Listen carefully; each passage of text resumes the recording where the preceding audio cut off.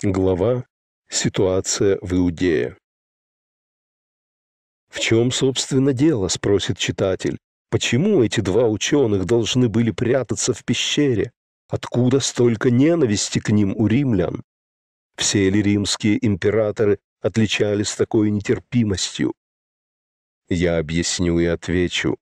Для этого нужно чуть-чуть отступить, на пару шагов буквально, в хронологической последовательности. До римлян были греки. Греко-сирийская цивилизация в виде Александра Македонского не сделала евреям ничего плохого, а напротив, Александр похвалил Иерусалимский храм и только удивился, мол, почему там нет его статуи. Но евреи остроумно отвечали, что дадут своим детям рожденным в год его посещения, имя Александр. А это ведь гораздо лучше, чем какая-то бренная статуя, не правда ли? Так память о нем сохранится на века. И тот согласился. Но после него империей правили разные безумные цари, самым диким из которых был Антиох. Он вступил в конфликт с еврейской традицией, евреям пришлось его победить и идти дальше по своему историческому пути. Маккавеи — это аббревиатура слов «Кто подобен тебе, о Всевышний?» Затем греков подчинили себе римляне.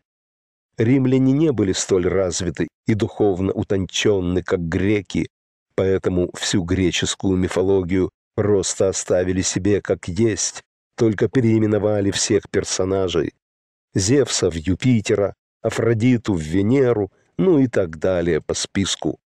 Присвоили чужую культуру, заменив лишь, кавычки, название файла, кавычки. Римляне поначалу не трогали Иудею, но возник территориальный спор, помочь в разрешении которого тогдашние власти евреев неосмотрительно попросили.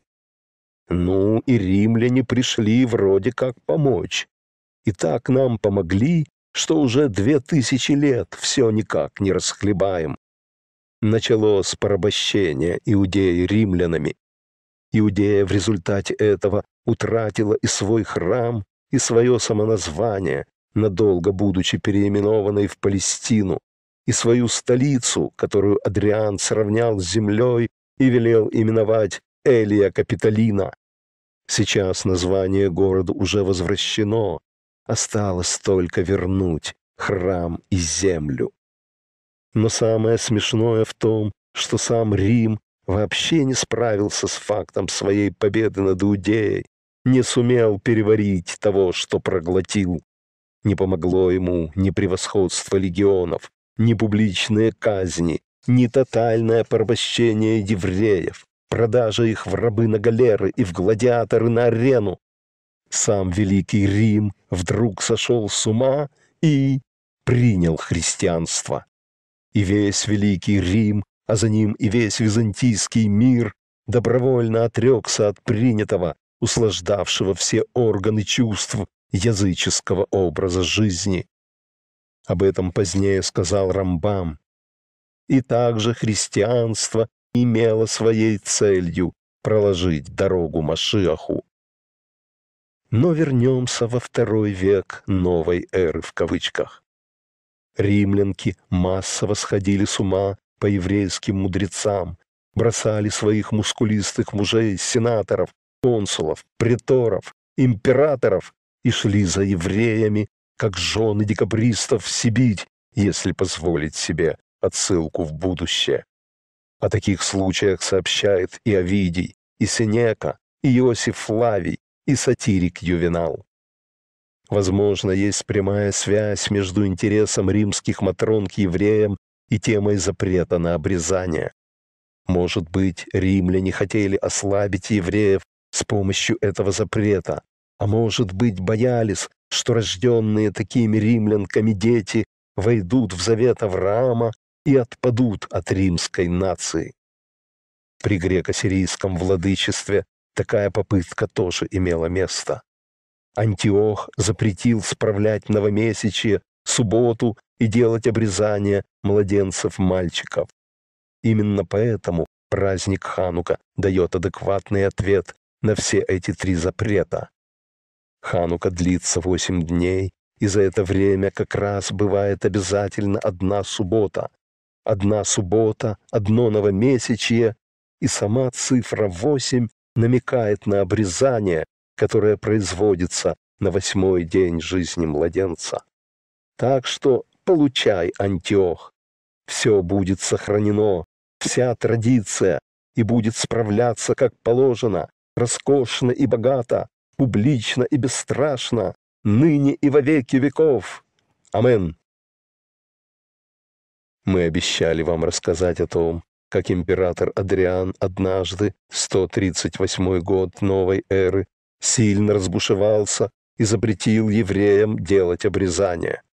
А тут как раз родился мальчик в семье самого главного еврейского религиозного лидера, Раббана Гамлиэля. Что прикажете делать?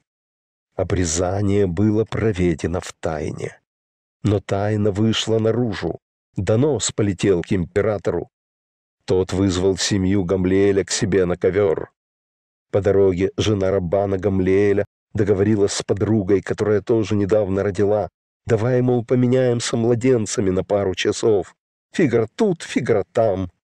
Младенец, которого звали Марк Антоний, был вручен еврейской женщине, которая тут же приняла скормить его грудью, чтобы не плакал.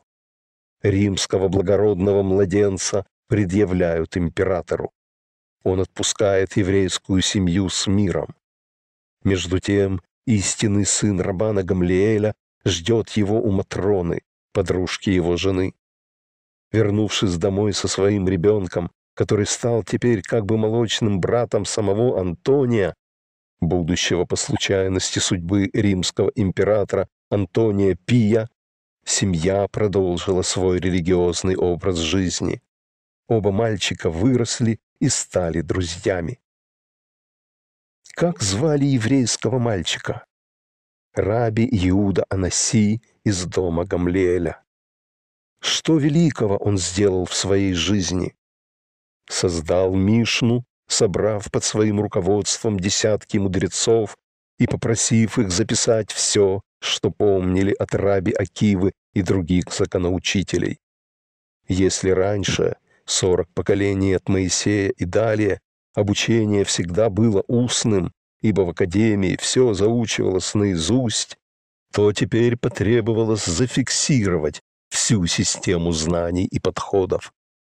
Так и зародился Талмуд, Позднее будут известны две его версии – Иерусалимский, то есть созданный в земле Израиля, и Вавилонский, то есть созданный за ее пределами.